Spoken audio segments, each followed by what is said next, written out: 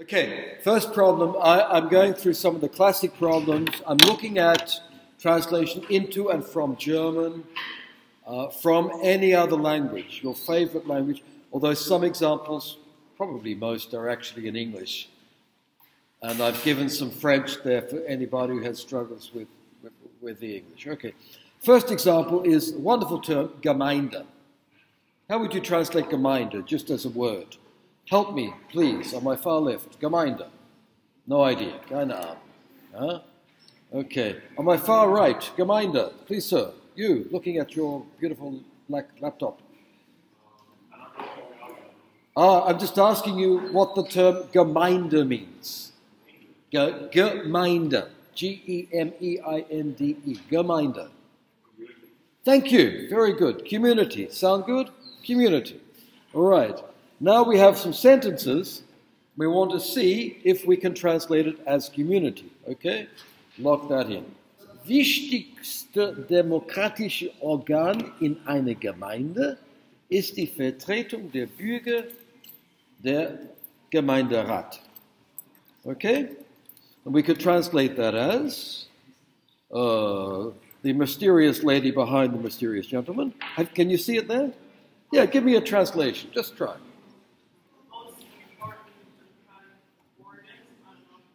Hey, who's doing that? Oh, good. Yes, I was shooting for her, but you're fine. The most important democratic organ, yes?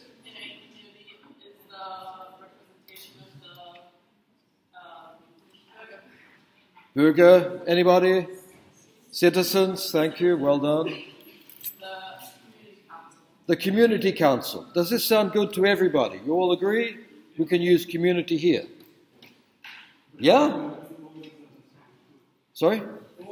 Organ sounds like a heart or a lung or something. It's sort of uh, a democratic body or organization or institution. Uh, body, I like myself here. Organ would pass, okay? But, yeah.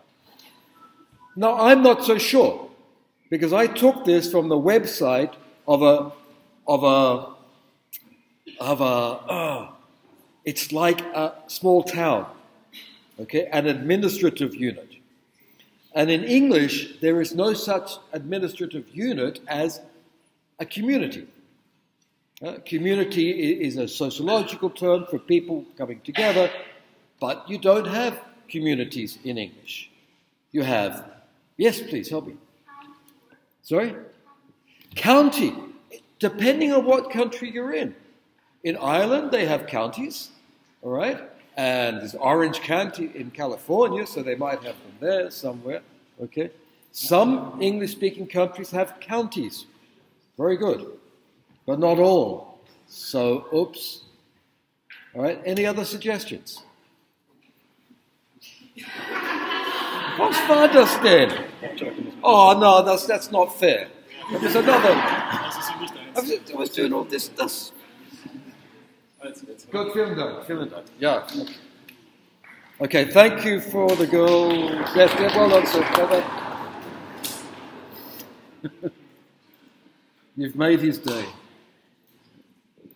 Okay, Gemeinde. Here we are. Okay, we're on this one. All right. Um, yeah, so we're in this problem that Gemeinde has a, a general sense.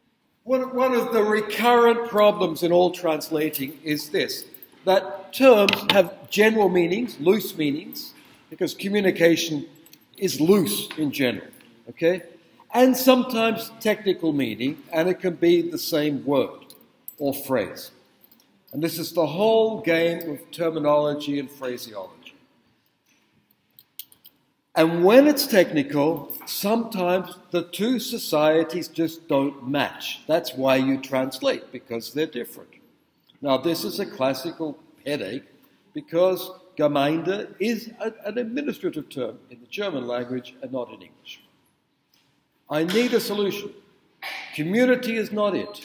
County is not it because counties don't exist anywhere. Yes, please. Municipality is really nice, and that's the one I use sometimes. Okay, uh, why? Because municipality um, in European discourse covers all the smaller units of administration. It's already a superordinate for something at about this level. Uh, okay, so municipality is actually very good because it can be administrative and general at the same time. Any other suggestions? Okay, a similar one that I sometimes use, I, have translated tons of economics and sociology and all sorts of rubbish like this uh, all the time. District is one of my favorite words because a district is technical, but it can also be of any particular, it's not of any particular size. It can be a little district or a big district, municipality or district. These, these are your stock in trade, these terms that can pass as being technical but are not too specific for you to be wrong yeah, when we're doing our risk management. Royal Baby 2 ist geboren. You see, I'm getting topical things that you'll be interested in. So freut sich die Twitter-Gemeinde über Kates Baby. Twitter-Gemeinde here is Twitter community, I think. Here, or anything general. Okay? The community is general enough. Here, it's not technical. So you've got the the, obviously the two different levels. Community works sometimes, uh, but other times you need something uh, a little more. Uh, that, that sounds as though it's technical without being. And then here, herzlich willkommen auf der Webseite der Gemeinde Schwarzenberg, which I think is in Switzerland. Schwarzenberg. What do you want to call Schwarzenberg? Anybody? Sorry? Town? village. Wouldn't they say Dorf? Wouldn't they say Stadt? Dorf? I don't know. I haven't been there. Anybody been to Schwarzenberg in, in the Schweiz? Uh, any?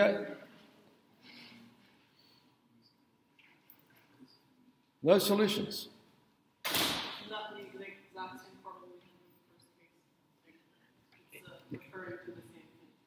Um, it's, it's a bit more specific, okay, because this is one particular. I mean, the first one concerns a model of how town or city halls operate in the German system. Here we've got this actual place, and you could go in and find out how many people are there, and then figure out if it's a village or a town or a small city. Okay, but hey, that's a lot of work, that's a lot of effort. Or leave it out.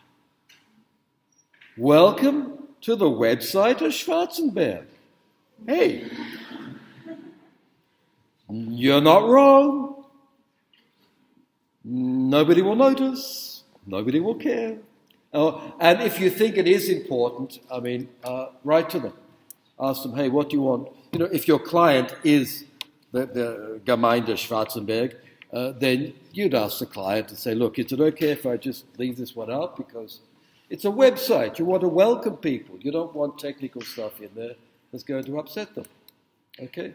Strategic omission, ladies and gentlemen, solves a lot of problems very fast. Just don't tell anyone outside of our small Gemeinde.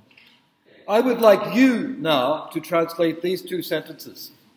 Uh, sorry, one or the other. If you don't like English, do the French. It's not going to help you. Uh, I would like you to write your translation. I have to correct myself. I, I presented an overview of the translation profession, right, in a previous lecture. And last week uh, at a conference, somebody came up to me and said, You left out the most important thing. It's a woman who has a company, a translation company in Paris, and an American colleague who works for a bank in Geneva. And they said, You, you forgot to say that translators in Europe earn over 100,000 euros a year. Okay? And I said, How many of you are there? We don't know. But some do. Okay? So I, I left that out. You know how they earn 100,000 euros a year and above? well, living in Geneva, working for a big bank, okay, working on high risk texts and situations of confidentiality, so they have to be trusted, and they go fast. Eh, fast. All right. Uh, Madrileños, if you could, you could Google that. It's the people who live in Madrid. Okay. How did you render that? Blonde girl sitting right there. There's only one blonde girl. That's you, yes. Madrileños. Whichever language you're translating into. Madril Leni. Okay, that's Italian, right? Good. This is, text is in English, right? Why have they put a Spanish word in the English text? They're Madridistas. Oh, I know that because I'm for Barca. So that's the enemy. Okay, no, the Madrileños, if you look up the Spanish, they're the people who live in Madrid. Okay, Madridistas are the ones who support Real Madrid. Bad. Okay. Uh, now, you, you have the choice. You can put it in German, or Italian, or Polish, or whatever language you're working into. But think, why does the author use the Spanish term here? Yes, please. Yes, there is. People who live in Madrid. It's longer, it's a bit boring, and this, I mean, in the context, you can work out what it means for people who live in Madrid, and it gives local colour. You know, like people write about Spain and they talk about paellas and fiestas and siestas. That's the other thing they use all the time. Okay. Uh, just now, translators tend to think that we have to translate everything into the target language. Okay? It's all in Italian, all in German, all in Polish. Not so. You can use the local terms if the context will carry its meaning. Okay? Which I think you can then. This example is given by Newmark as one where you can do two translations. You could put uh, uh, the most important democratic body in a Gemeinde, and in brackets, small administrative unit. Okay? If, if it's highly technical, you can do both. You can put the German word and explain it in English. Here, it's a newspaper article, explanations are a bit unworldly, but you could say Madrileños, the people who live in Madrid, if you want to. You can have two translation solutions if you're unhappy with just one. It's possible. You are not required to only go into one language.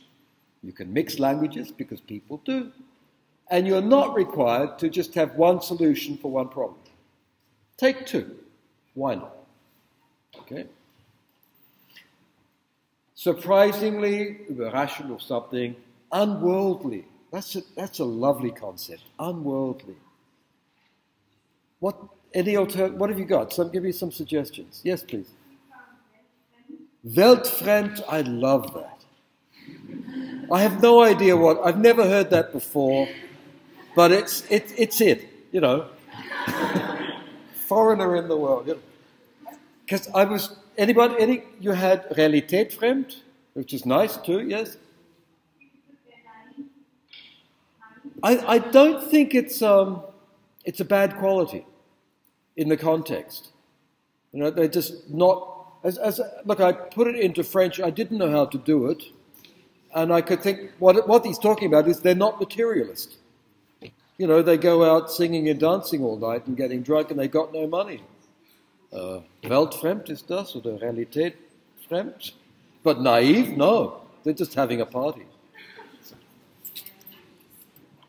I have to remind myself why I live in Spain. Please translate this quickly. You've done these texts thousands of times. Quickly, translate this into your favorite language other than German. What are the problems in this text? Uh, there are many, actually. It looks simple, but it's quite to say. Yes, please. Sorry?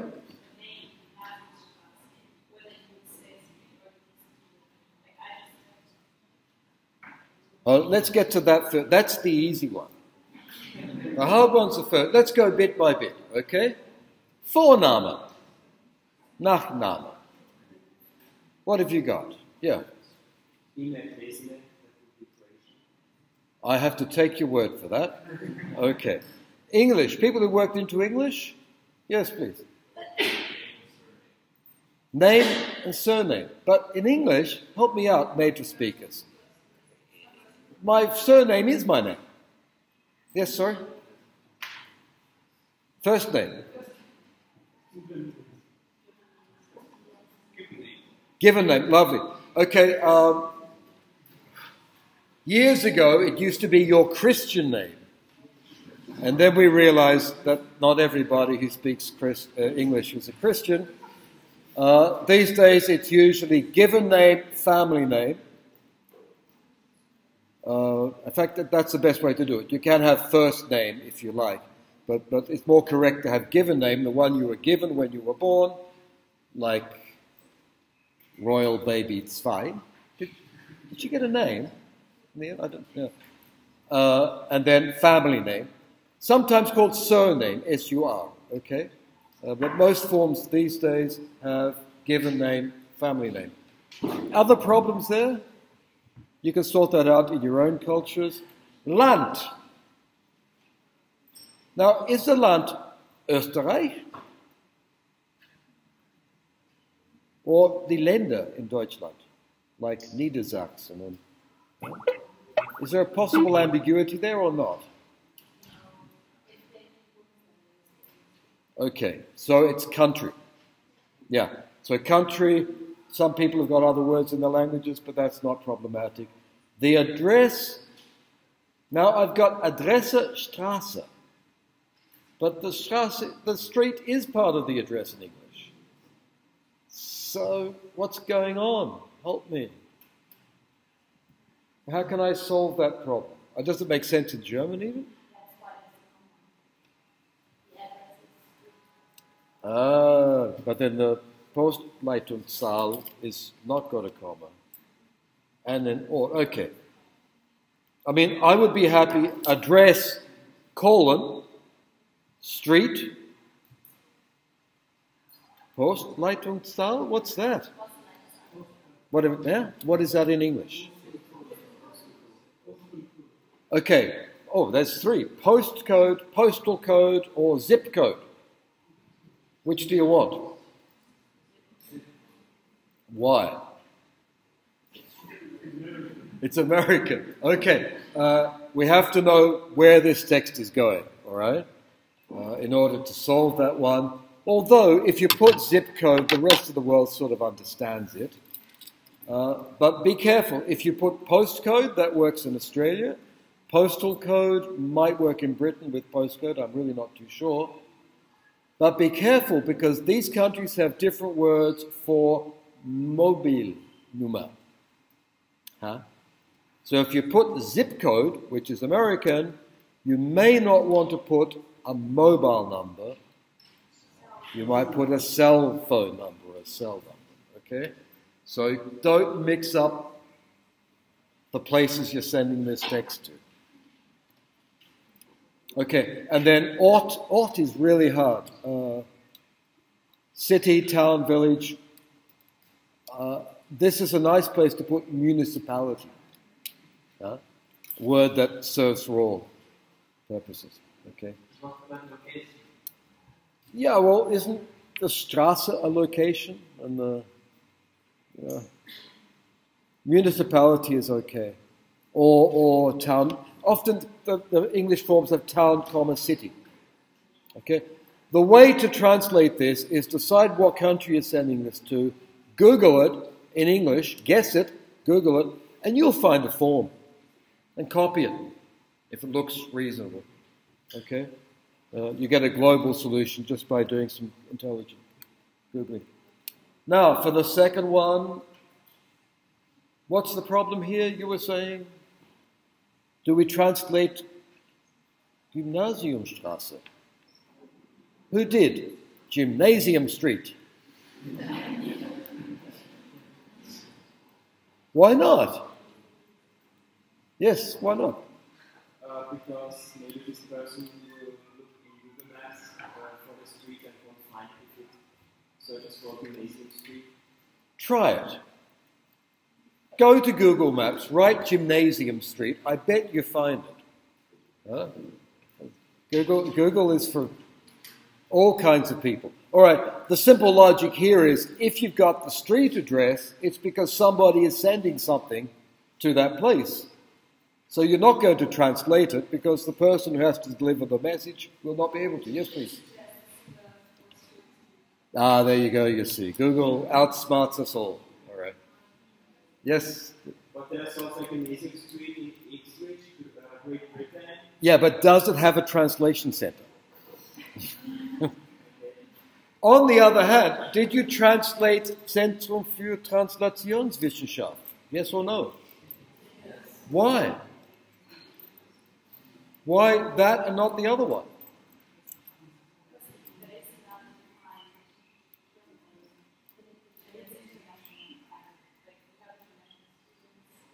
Okay. okay, those are all good reasons. For me, working fast, I would go into the website, and when I go into the website, I see it written in English. So, so these people want this English to be used, but they don't want it used for the address for practical reasons. Okay? So translate the first but not the second. Problem solved. Two seconds, move on. Ah, here you go. You guys suffered Eurovision, I hear. Okay? I have a 10 year old son, so I had to watch it. Translate this into German or into whatever language you like. I, I was intrigued at how popular music still uses rhyme. All the songs rhymed. Yeah? One of the most basic of poetic devices. Have a go. Try to put that into your favorite language other than English. Do you know the song? Do you want me to play it? Oh, well, it's not there. Okay, you'll have to sing it to yourself. Um, I had a go.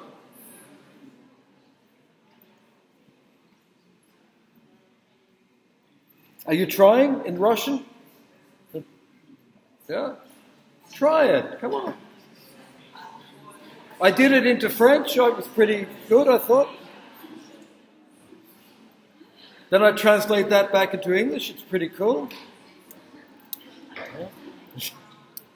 Okay, a bit of creativity. Wir sind die Helden unserer Zeit. Then you just need any word that rhymes with sight. There must be thousands. I only need one. Okay, um, what's more important here is, is not what you get, but how you get it. So the, the technique is to realize that the lyrics to these songs are incredibly banal. Sometimes there's just one message. So the first one, you've got to have heroes, okay? You can't get rid of that. But you could change that.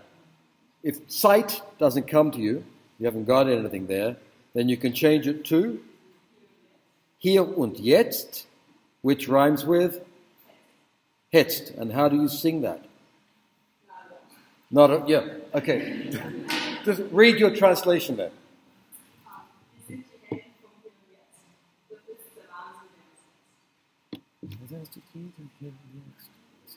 It's a bit complicated in the second, but you could take some words out and get it good.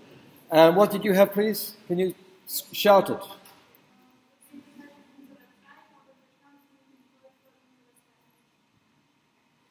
Mit dem Teufel unserer, unseres Geists. Okay, so you got an imperfect rhyme with sight und Geist, but it's close enough for popular music. Because really, come on, folks, time does not rhyme with minds.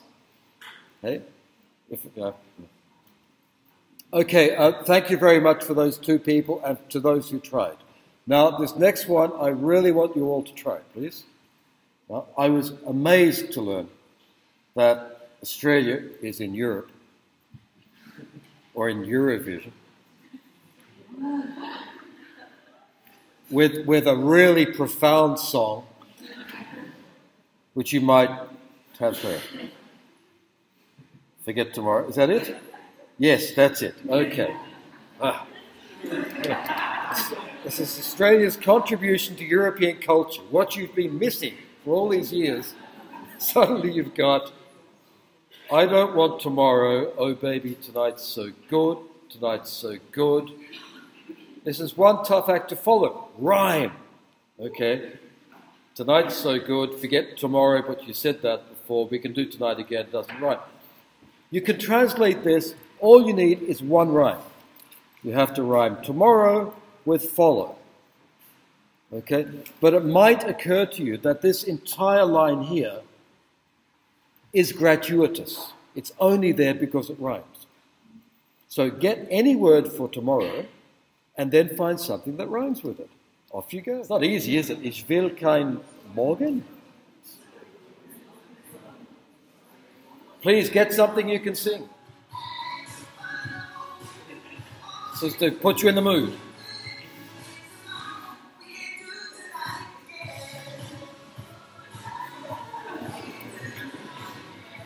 Translate.